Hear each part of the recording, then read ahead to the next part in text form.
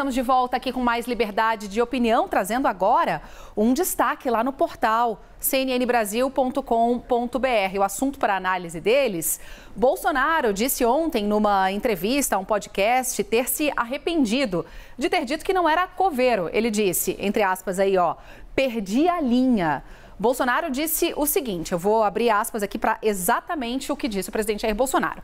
Dei uma aloprada, aloprei, perdi a linha, aí eu me arrependo. Ele disse ainda que retiraria a frase sobre ser coveiro, mas que usou uma figura de linguagem quando se referiu a quem tomasse vacina, que poderia virar jacaré. Ele disse que o termo jacaré, na verdade, era um, uma figura de linguagem. Por fim, Bolsonaro lamentou essas falas, disse que não falaria de novo e que de lá para cá ele mudou de comportamento. Vamos jogar, portanto, essas frases do presidente Jair Bolsonaro nessa entrevista de ontem para os nossos analistas que já estão aqui na tela conosco. Começando contigo, Alexandre Borges. Nada contra o arrependimento, consciência, cada um tem a sua, com a qual deita à noite no travesseiro. Mas uma pergunta com relação ao timing em que esse arrependimento chega, né? Faltando agora 19 dias e poucas horas para o primeiro turno. Isso pega bem com o eleitorado Bolsonaro voltar atrás nesse momento? Momento? É, a gente vai ver isso nas pesquisas, mas é claro que também foram pesquisas que fizeram ele supostamente se arrepender. Ele viu que ele insistiu esse tempo todo é, é, nessa tese de que aquela frase infame é, de. Como é que é? A, economia a gente vê depois, né? É, fica em casa, a economia. Que é uma mentira, ninguém pensou isso, ninguém era contra a economia, ninguém planejou é, é, ser contra a economia. As pessoas estavam querendo preservar vidas.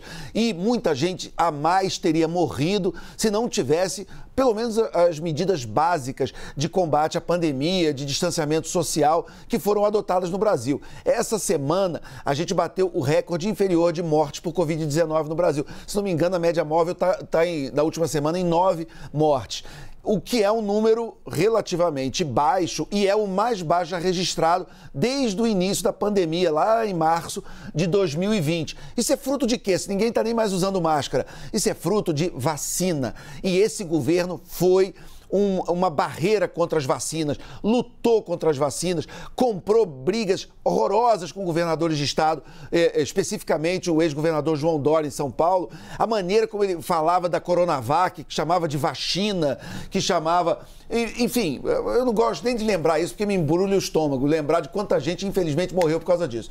Então, assim, agora, às vésperas da eleição, é, é, bancar a Madalena arrependida, porque provavelmente as pesquisas, os grupos de foco estão dando que não teve jeito, que as pessoas entenderam, que o povo entendeu isso como falta de empatia o que é muito difícil de negar. E mesmo quem é bolsonarista, eu acho que teria uma certa dificuldade de colar no presidente uma pessoa empática. Ele pode ter outras características que o seu eleitor goste. Agora, empatia, mesmo quem gosta dele, acho que é difícil. E, e numa situação de pandemia, onde o que está em risco é a vida das pessoas, é esse tipo de característica pessoal fica muito evidente. Em períodos de maior normalidade, você pode deixar aflorar outras características. Mas num período de crise sanitária tão profunda, de, de tanto é, desespero, de tantas famílias é, destruídas, de tanta gente morrendo, aí a empatia fala mais alto. Eu costumo comparar o que aconteceu na pandemia com o que aconteceu eu e o Molica fora do ar, a gente estava comentando uma série maravilhosa, The Crown, e teve um episódio que é muito marcante, que foi em 1966, numa cidade chamada Alberfan, onde teve um desastre é, é, que soterrou crianças em escola. É um, é um episódio muito marcante que aconteceu, que é, é um fato real. E se considerou na época que a rainha Elizabeth não teve suficiente empatia. Depois, ela disse que foi a pior decisão que ela tomou na história do reinado dela. E ela passou o resto da vida pedindo desculpas sinceras sobre isso, voltando à cidade de Alberfan, homenageando as famílias. Ela entendeu perfeitamente o erro daquele momento de não ter dado uh, uh, uh, o atendimento às famílias que se entendeu que era necessário. Alguns líderes mundiais da pandemia, não muitos, mas alguns até importantes, mostraram que infelizmente caíram no mesmo erro.